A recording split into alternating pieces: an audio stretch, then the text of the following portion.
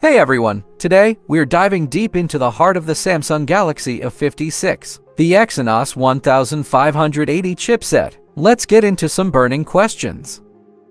What can we expect from the Exynos 1580 in terms of performance? The Exynos 1580 is rumored to be a significant upgrade over its predecessor, the Exynos 1480. With a faster CPU and a more powerful GPU, it's expected to deliver smoother performance for gaming, multitasking, and demanding apps.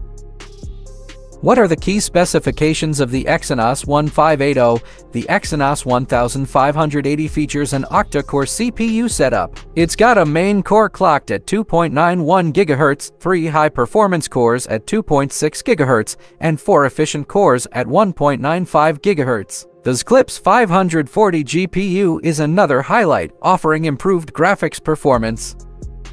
How does the Exynos 1580 compare to other mid-range chipsets? The Exynos 1580 is expected to be one of the most powerful mid-range chipsets available. It should offer comparable performance to some flagship chipsets from previous generations.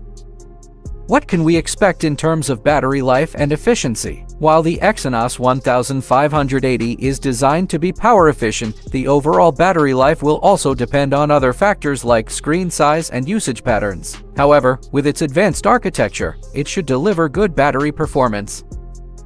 When can we expect the Galaxy A56 5 grams to be released? The Galaxy A56 5 grams is expected to be launched in the first half of 2024.